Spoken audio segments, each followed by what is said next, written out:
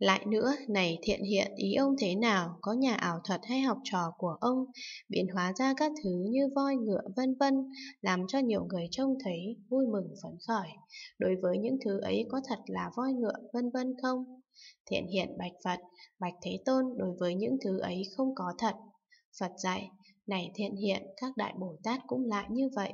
Tuy thành tựu các pháp thánh vô lậu bạch tịnh, nhưng vì lợi ích an vui cho các loài hữu tình, đem lòng bi nguyện thọ thân bằng xanh tuy thọ thân ấy nhưng không thật có, cũng không bị tội lỗi kia làm ô nhiễm. Cụ thọ thiện hiện bạch Phật, bạch Thế Tôn các đại Bồ Tát phương tiện thiện xảo rộng lớn như vậy, tuy đủ thành tựu các pháp thánh vô lậu bạch tịnh, nhưng vì hữu tình, dùng lòng bi nguyện phương tiện thiện xảo thọ đủ lại thân, tùy theo sự thích nghi của chúng mà thị hiện làm lợi ích. Bạch Thế Tôn, các đại Bồ Tát an trụ vào những pháp nào để làm phương tiện thiện xảo, tuy thọ các loại thân bằng danh như vậy, nhưng không bị tội lỗi ấy làm ô nhiễm. Phật dạy, này thiện hiện các đại Bồ Tát trụ vào bát nhã ba la mật đa sâu xa như vậy để làm phương tiện thiện xảo. Do sức phương tiện thiện xảo này, nên tuy trải qua hằng hà xa thế giới chư Phật khắp mười phương, hiện nhiều thứ thân làm lợi ích an vui cho các loài hữu tình, nhưng ở trong ấy không sanh tâm đắm nhiễm. Vì sao? Vì Đại Bồ Tát này đối với tất cả Pháp đều vô sở đắc, do vô sở đắc nên không có người nhiễm, nơi trốn nhiễm và nhân duyên nhiễm. Vì sao? Vì tự tánh của tất cả Pháp đều không. Thiện hiện nên biết, không tánh không thể nhiễm không tánh, không cũng không thể nhiễm pháp nào khác, cũng không có pháp nào nhiễm không. Vì sao? Vì trong không không tánh còn không thể đắc, huống là có các pháp khác được. Như vậy, gọi là không thể đắc không. Các đại Bồ Tát an trụ trong ấy có thể chứng được quả vị vô thượng chánh đẳng Bồ Đề vận chuyển pháp luân vi diệu độ thoát các hữu tình. Cụ thọ thiện hiện bạch Phật, bạch Thế Tôn các đại Bồ Tát vì chỉ an trụ bát nhã ba la mật đa sâu xa nên dùng phương tiện thiện xảo như vậy hay là an trụ vào pháp nào khác Phật dạy, này thiện hiện không có pháp nào là không tóm thâu vào bát nhã ba la mật đa sâu xa, sao ông còn đặt câu hỏi ấy? Cụ thọ thiện hiện bạch Phật, bạch Thế Tôn bát nhã ba la mật đa sâu xa tự tánh vốn không, làm sao cho rằng bát nhã ba la mật đa sâu xa tóm thâu tất cả pháp, chẳng phải trong pháp không cho rằng có pháp thu nhiếp hay không thu nhiếp? Phật dạy, này thiện hiện há chẳng phải các pháp tự tánh đều không? Thiện hiện bạch Phật, bạch Thế Tôn, đúng vậy, đúng vậy. Phật dạy, này thiện hiện nếu tất cả pháp tự tánh đều không, thì trong pháp không ấy có nhiếp thu tất cả pháp. Thiện hiện bạch Phật, bạch Thế Tôn, đúng vậy, đúng vậy.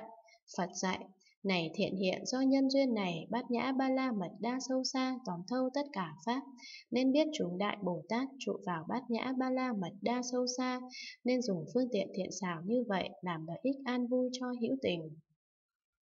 Bấy giờ thiện hiện bạch Phật, bạch Thế Tôn làm thế nào Đại Bồ Tát khi hành bát nhã ba la mật đa sâu xa, an trụ trong tất cả Pháp tự tánh đều không phát sanh thần thông ba la mật đa, an trụ vào thần thông ba la mật đa này có thể đến được hàng hà xa số thế giới chư Phật khắp mười phương, cúng dường cung kính tôn trọng chư Phật Thế Tôn, lắng nghe chư Phật thuyết Pháp và trồng nhiều căn lành. Phật dạy này thiện hiện đại Bồ Tát nào hành bát nhã ba la mật đa sâu xa, xem hằng hà xa số thế giới chư Phật khắp mười phương và lắng nghe chư Phật thuyết pháp tự tánh đều không, chỉ có thế tục mới lập ra danh tự nói là có thế giới, có Phật, có Pháp và chúng đệ tử. Như vậy thế tục lập ra danh tự tự tánh cũng đều không.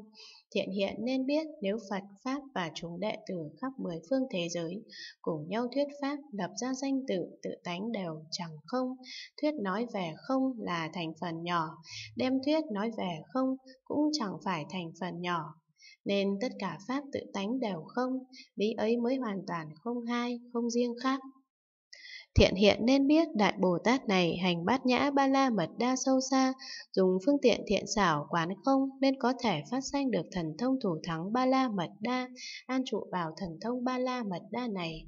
Bồ Tát có khả năng phát sanh thiên nhãn, thiên nhĩ, thần cảnh, tha tâm, túc trụ, tùy niệm và trí lậu tận vi diệu thông tuệ Thiện hiện nên biết các đại Bồ Tát không xa lìa thần thông ba la mật đa, có năng lực tự tại, thành thục hữu tình, nghiêm tịnh cõi Phật, chứng đắc quả vị vô thượng chánh đẳng Bồ Đà.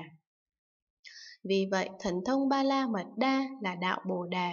Các đại Bồ Tát đều nương vào đạo này cầu đạt đến quả vị vô thượng chánh đẳng Bồ Đề.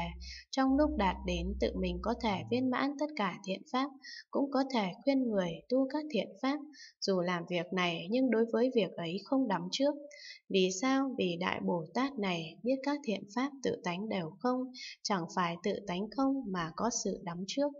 Nếu có đắm trước là có vị ái, do không đắm trước không vị ái nên trong tự tánh không, do không có vị ái nên người có vị ái, đối tượng có vị ái và nhân duyên có vị ái ở trong pháp không đều bất khả đắc.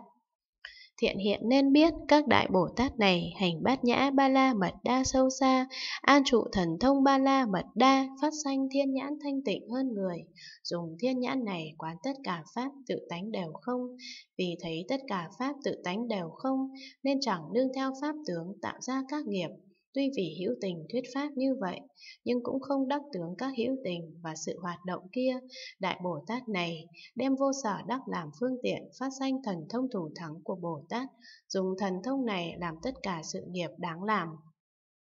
Thiện hiện nên biết Đại Bồ Tát này dùng thiên nhãn hoàn toàn thanh tịnh hơn người, xem khắp hằng hà sa số thế giới của chư Phật khắp mười phương, xem rồi phát sanh thần cảnh trí thông qua thế giới khác làm lợi ích cho các loài hữu tình.